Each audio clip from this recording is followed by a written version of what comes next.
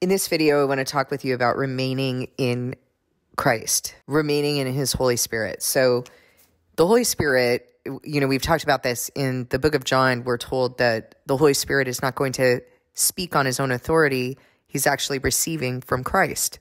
And we know that we are a vessel. We're supposed to be occupied. We're, we're designed to be occupied, and you can't occupy yourself. And so, if we're not fanning into flame God's Holy Spirit, we're going to be occupied by a different spirit. That's why it's so important for us to understand that what has been taught in counterfeit Christianity with regard to, um, you know, some of the things that I've heard people say are you can't live in the spirit all the time.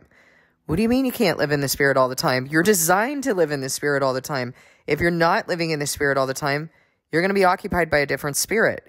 And I think the reason why people believe these crazy things like you can't live in the spirit all the time is because they're being friends with the world and fr- uh, trying to be friends with the world and friends with Christ.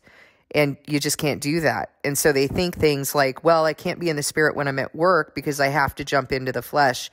God would never require you to do that. That's what the world requires you to do. And so we start thinking things, you know, when we're denying his power and we're denying his ability to move in our lives, we start thinking things like, well, I have no other choice. I have to I have to work. I have to survive. I can't uh, I can't observe his Sabbath because I have to go to work. Says who? God will make a way for you to obey everything that he has told you to obey. He has not established a covenant with you that you are incapable of fulfilling. That would be ridiculous. I mean, that's like setting up your child for failure. So when I say that you are capable of fulfilling that covenant only by his spirit, only by faith in him, only by trusting him and knowing that he is capable of giving you a job or turning the heart of your boss so that you can have Sabbath off or, you know, making sure that you are able to go through this life living in the heart and spirit by his spirit. There's never a point at which you need to go then jump into the flesh which, by the way, he has already told you that you have to be circumcised from the sinful flesh and disciplined in the physical flesh. We can't live in a place that's undisciplined. Your flesh is inherently undisciplined. If you're living in your flesh, you will inevitably reconnect with the sinful flesh. You will inevitably become uncircumcised because this, the physical flesh desires the things of the sinful flesh. Okay? Glory, status, instant gratification, indulgence. And so you'll start doing things like just eating whatever you want, be, you know, and uh, doing whatever you want and pursuing the things of the world. Because I'll tell you right now, when God has you living in Him, it, these are not the things of the world. You're actually broken. So you will not be capable of picking up His covenant, of fulfilling His covenant if you're living in the flesh. You got to live in the spirit that is willing. Remember, the spirit is willing, but the flesh is weak. There was something that God said to me early on. Uh, it, it not just said to me, but He covenanted with me and required me to say to Him that I would never, that I, to make this promise that I would never turn my face from Him again. And He's reminding me of it more lately and telling me that if I'm engaging in something, if I'm eating something, if I'm watching something, if I'm saying something, if I'm in a conversation with someone that I am not comfortable bringing him into, I need not go there. Okay, so early on, he said that I needed to promise that I would never turn my face from him again. And I held to that promise so that anytime that I felt like I wanted to hide, that I would immediately go back into repentance and talk with him about what I was feeling and do the inner child work so that I would be willing to change and turn. More recently, he's talking with me about certain things that I'm engaging in. And it's not like, listen, the things that I talk to you about are not these sins that we would say, oh my gosh, that's really bad. It's things like I commit to doing something with him and then I'm like, uh, you know, I could just have like a little bit of this or something like that, right? But I've already made a commitment to him. I actually did that last night, but I did pray and talk with him about it. So last yesterday, I um, had made a commitment to drink um, to drink broth all day, and because I feel him calling me into disciplining my flesh and wanting to speak to me. And as it is, he was speaking to me last night a lot, and I posted a few videos on that. He was calling me into this, but I was like so hungry. I was so hungry. And I really just I needed something. And so I sorted it through with him and ended up having a bowl of oatmeal. And listen, not giving up on it.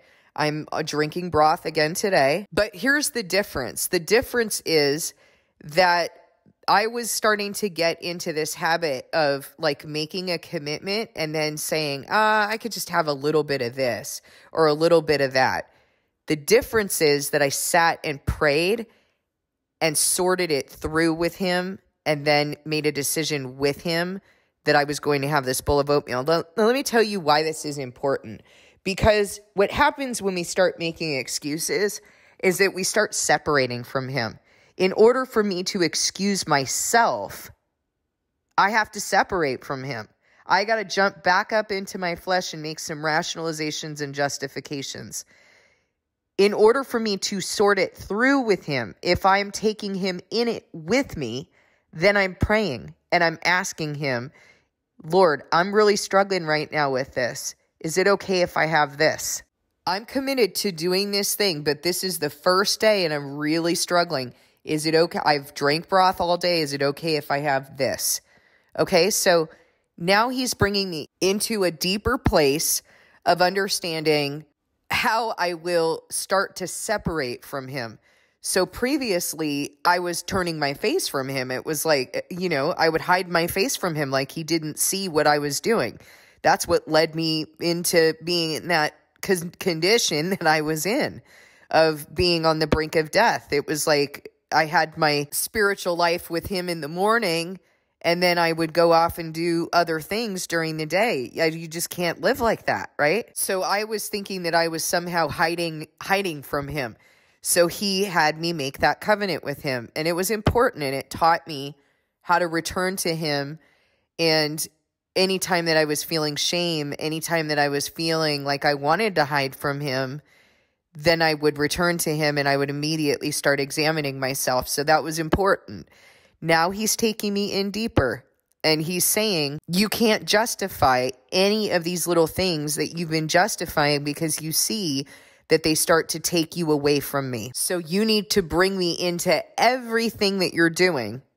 And if you don't feel comfortable bringing me there, you need not be there. That means anything that I'm watching, listening to, conversations I'm having, food that I'm eating.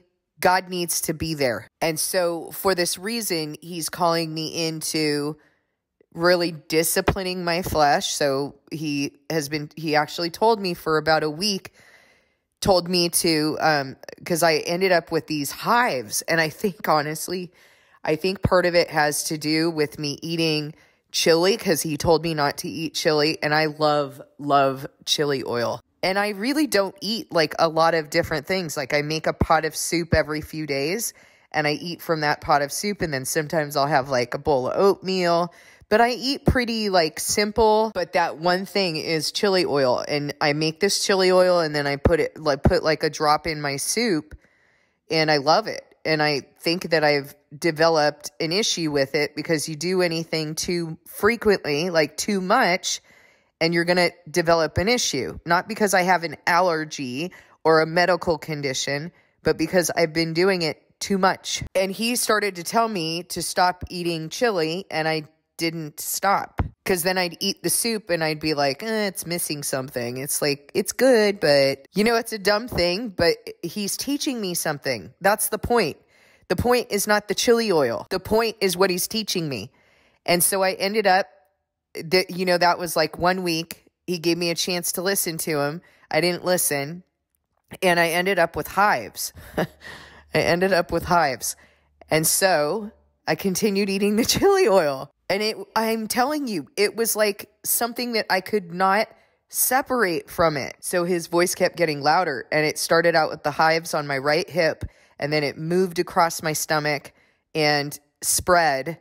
And so, you know what? That's what I get. I didn't listen. I even sort of convinced myself that, nah, he didn't tell me that. I didn't hear that. Why would God tell me to stop eating chili oil? You know what I mean? So I have largely lived my life eating whatever I wanted. You know, before I got sick, I could eat whatever I wanted, and I did. And I ate as much as I wanted, and I didn't really suffer any consequences. My body was strong, I had a good metabolism. I mean, I was good to go. He let me, he gave that to me. It is not that way anymore, let me tell you, because I've worn out my privileges of being able to eat certain foods and I and I overindulged in certain foods, you know? Like if I eat if I'm eating flour, then I'm eating lots of flour. I'm eating it every day. Same thing with sugar, same thing with dairy, same thing with chili oil. So what he's doing with me does not have anything to do with me developing some condition. What he's doing with me is disciplining and letting me know you, that I cannot uh, I cannot indulge like that. I can't make something an idol. And I know that sounds really weird that you could make chili oil some sort of an idol, but if you're overeating it every day, your food is fuel. It's not something to indulge in. But that's like not in my it's not in my repertoire yet. You know what I mean? So I know that God wants me to enjoy, but He doesn't want me to make that the thing that I'm like living for, you know? And we can do that with food. I know that sounds weird, but think about it. You can do that with certain foods, and you can avoid feeling your feelings and avoid discipline and process and receiving other things that He's trying to do with you because you're indulging. And that's what He was dealing with me on. And I'm I'm here thinking well, it's just soup. It's vegetables and turkey and like good nutritious broth and you know. But I probably wouldn't have eaten as many bowls of soup if I wasn't digging on that chili oil so much. Okay, so I mean, this is what I mean by it's not like I'm out there, you know, committing major sins, but this is a sin if this is how I'm setting it up in my life. And I can't justify. And that's what he's teaching me. And he's also teaching me that this part of the reason you don't feel so good. So again, he's always working with me and I'm always receiving it. And there's always something for him to work on with me. You know, it never like, I, I'm never like arriving anywhere, but I will. I will. On the day of the Lord, I will be covered and I will have received this covenant because and and fulfilled this covenant that I have with him because I am doing this on a daily basis. I am listening to him. I am imperfect, but he is moving me to understand who I need to be. So I just wanted to share those couple tidbits of my testimony. Do not hide your face from him. Promise him that you will not hide your face from him. And then make sure that anytime that you feel like you want to, that you return to him in examination and repentance. You are indeed designed to be in the spirit all the time. You are designed to be inhabited by him all the time. I don't care what anyone tells you. That is your design. And finally, bring him everywhere with you. Every conversation, every meal, every snack. And this way you have those checks and balances that you are living correctly in him. Thank you for listening. God bless you, and I'll see you in the next video.